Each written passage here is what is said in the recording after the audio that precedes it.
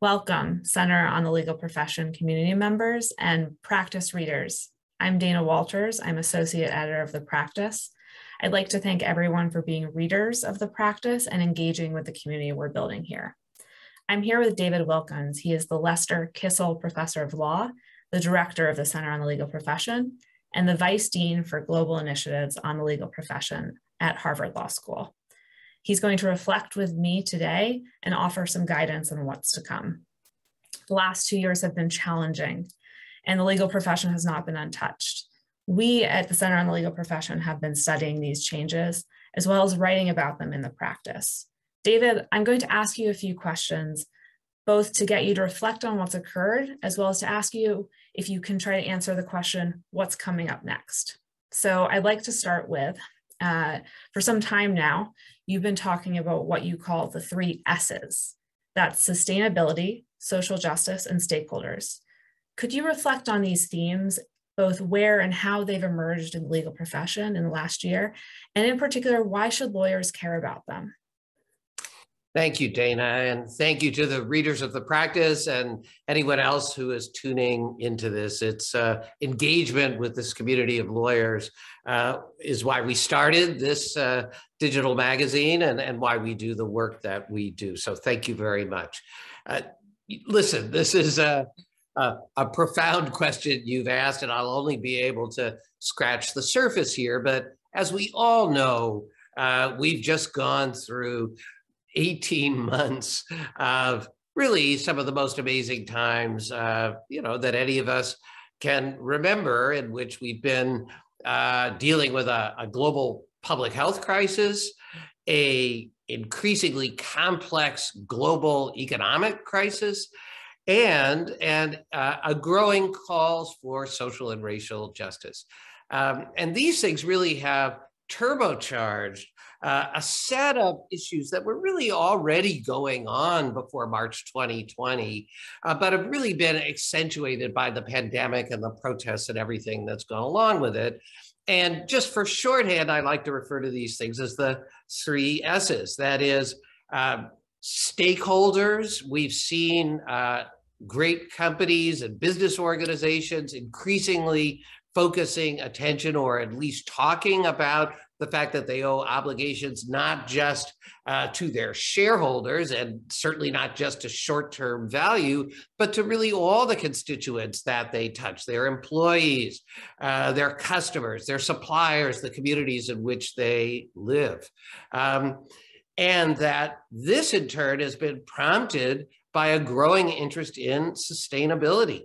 Uh, again, before the crisis, we already saw major investors like BlackRock talking about how they were going to switch their investments to companies that uh, could promise sustainable development. We've all seen the results of climate change really every place uh, that we look. And as I said, all of this now is being viewed through the lens of social justice um, from the deaths of uh, George Floyd and Breonna Taylor uh, to many, many uh, uh folk, uh, many, many people drawing attention to economic inequality uh, in the way in which healthcare is administered, in which the economic impacts of COVID have been felt. Why is this important for lawyers? Because every single one of these issues is falling on the desk of lawyers somewhere whether those are in-house lawyers and companies who are trying to figure out how to navigate uh, the kind of new legislation and new requirements that are growing out of an emphasis on stakeholders, sustainability, and social justice, or government lawyers who are trying to figure out how to create sensible regulatory policy in these areas, or uh, lawyers in private law firms who are trying to advise clients about these complex uh, issues uh, or law professors and law students who are trying to think about how to craft careers in this area. So uh, these are going to be, I think, the defining features of the middle decades of the 21st century, uh, long after the current emergencies end. And that's why we've chosen to devote a number of issues of the practice and a number of research projects at the center around these questions and why we look so forward to engaging with our uh, readers and with the profession as a whole on what's going on in these important areas. Thank you, David. That was a perfect response. I'd like to turn now uh, to a related, related note. Uh, a recurring theme of the practice this year has been changes in the delivery of legal services. For instance, we've explored ideas such as legal technology and innovation, integration in legal services, and the big four, and questions about how one measures quality in the legal profession. How are you thinking about these issues and what should the profession be doing or know about to remain competitive?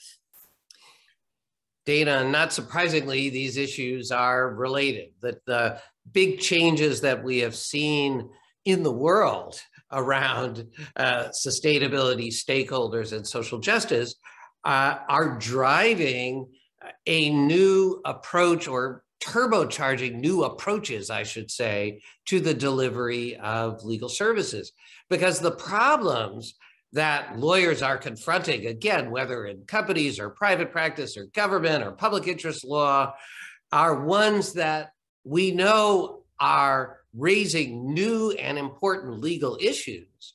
But law is only a part, and oftentimes not the most important part, of what the solutions to those issues will be. And therefore, lawyers are being driven to think about the services they provide as part of an integrated solution for their clients, for society, even for their own institutions uh, around these critical issues. And in order to do that, requires innovation in every sense of the word innovation in how we think about things and the way in which we approach things and the way in which we design our institutions. But it also requires innovation in terms of the processes and practices that we use to do our work. Uh, digital transformation has been transforming everything about our world. Uh, it's come to the market for legal services and the practice for lawyers. Uh, as you know, in one of the issues of the practice where we talked about the kind of priorities of CEOs for what they're looking for in the legal function, getting a more data uh, driven approach to risk and risk management was at the core, which is then driving what general counsels are looking for from their own departments, from their outside law firms, and this is just uh, one example of how technology is going to reshape, is reshaping the way in which we think about law and legal services. Um, so we're moving into a world in which lawyers are going to have to become much more fluent in understanding the role of technology and the integration of law with other disciplines in order to solve the complex pro- problems of clients. Doesn't mean everyone needs to learn how to code or that everyone will be a data scientist or that everyone has to have a, a you know a degree in economics or sociology or computer science, but it does mean that lawyers are going to have to learn how to work much more collaboratively across disciplinary boundaries, across different kinds of mediums of, uh, of knowledge and information flow in order to uh, help their clients and again, society as a whole and their own institutions uh, in meeting the challenges of the middle decades of the 21st century. Thank you, David. That was a perfect segue to the next question I have about the changing nature of work. Uh, it's no secret that we are experiencing something the media is calling the great resignation, and the legal profession has not been spared. We're all reflecting more about what work means and what skills are necessary to succeed and compete in this atmosphere. Could you talk about the changing nature of work? For instance, in the practice, we've discussed the changing nature of careers and the types of skill sets needed to thrive as a 21st century legal professional. As you know, we've explored this in issues such as crisis lawyering and legal informatics, as well as CLP research that explores new, the new demands of legal departments, among others. Could you both reflect on these themes in the context over what has happened the last couple of years, as well as how you see them evolving over the next year, three years, and beyond? Well, Dana, if I really knew the answer to that question, I'd be a very wealthy person. Uh, this is the question everyone is asking. Uh, listen, uh, I used to have to persuade lawyers that you know remote work was even possible and that you know uh, you didn't have to be in the office not just five days but seven days a week in order uh, to do, to be a competent lawyer uh, you know for the last 18 months we've all been living our lives on zoom and nobody thinks that we're going to go back to the old ways of working uh, even after this horrible pandemic is brought under control. And people who did live under that delusion were quickly uh, reminded that that's, this was not the case when some people said, well, of course, you know, by September 1, everybody is going to be in the office full time. And if they're not in the office full time, they're not going to get my business. That has all changed. And in part, it's changed because over these last 18 months, people have had a time to reflect on what's important in their lives, what is uh, meaningful to them, and how they want to spend their time. And that has resulted in many people across every single uh, industry or profession deciding that they were going to make changes. And certainly, law, as you say, has not been exempt from this phenomenon. In fact, the very thing that we love about lawyers is they're smart, they're reflective, and they have options. And that is what we have seen more and more. And so every employer uh, and every person interested in the legal profession is going to have to think about how do we uh, make a value proposition that is meaningful to today's talent. And I'll just say one more thing that's changed that sort of got lost in the shuffle of 2020 and all the things that happened. It was the first year that Gen Zs graduated from college. Uh, and we talked about millennials for a long time, but Generation Zs are now entering the workplace. And we know, roughly speaking, that they're millennials on steroids and that all of the issues that millennials cared about are even more meaningful to this generation, in part because they have lived through the last 18 months. That means we're going to have to talk a lot more about meaning and purpose, about what the meaning is of what we do and why we do it, and why it's important and why it's related to important issues that this generation cares about. Frankly, I think we have a very important story to tell about that because law is, as I said earlier, integrally related to all of the important problems in the world today. But we need to make those connections stronger and more credible. And then we need to equip lawyers with the skills that they will need to address these issues, which of course means we continue to need to train lawyers in, you know, great legal technical skills. But as my colleague Ben Heineman and I have written on several occasions, they have to be more than that. They have to learn how to be not just technical experts, but wise counselors and courageous leaders.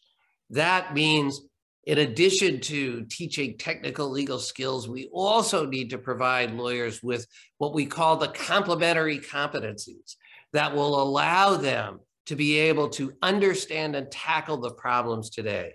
Uh, you know, information fluency, right? Financial literacy, uh, global understanding, cross cultural uh, skills uh, problem solving skills, teamwork skills.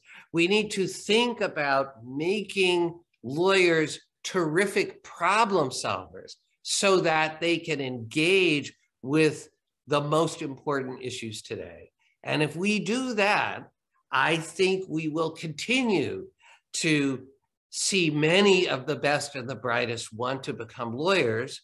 And perhaps just as important, see people in other fields recognize the importance of working with lawyers on these important issues of the day. Well, since you sound so upbeat and optimistic, I want to end on a positive note. Um, and I'd like to ask you this one last question. What are you hopeful for in the next year, David? Well, my view is, you know, you can either go through laugh life laughing or crying. I prefer the former to the latter because life will make you cry enough as it is. But I have to say, Dana, that um, I'm even more hopeful uh, after this past semester. I just finished teaching both of my classes. And I'll tell you, I was nervous about what this semester was going to be like with students teaching in masks, what it was going to be like given all the things that have been going on. And I have to say, I came away from this uh, semester so impressed with the engagement and intelligence and commitment of the young people that I'm privileged enough uh, to teach here at Harvard Law School. And my sense is this is being replicated really all around the world. Um, I said to my students on the last day of class that this experience uh, that they have all just lived through is going to test them the way that the Great Depression and World War II tested my parents' generation. Uh, which means they this is going to be a defining feature of their lives. It's going to define everything that they do. But if you look at what that generation did, my parents' generation, there's a reason why we call them the greatest generation, because they not only conquered the Depression, won World War II defeating fascism, but then they created the new world order, the international monetary system. They created the modern human rights movement, the civil rights movement, the women's rights movement, the environmental movement. This was a generation that took the challenges that it faced and used them as motivation to do great things to make a better world. I believe this generation is capable of this same kind of greatness. And I look forward uh, to watching what they do from these challenges and hopefully being a small part of providing through the practice and through our research and through the teaching that we do here, some tools for them to do the important work to come. Well, thank you, David. Uh, I certainly hope that as well. Uh, I hope everyone uh, watching has a wonderful end of the year. If you haven't yet subscribed to the practice, please visit our website, both to learn how you can get your own individual subscription, uh, as well as institutional subscription for your law firm or your university. Um, please stay tuned for new issues in the new year on topics like election lawyers and global disability lawyers and more. And uh, we will see you in 2022. Thank you. Thank, thank you, Dana. And thanks to our readers and happy, happy holidays and a, and a joyous and better new year to all. Thank you.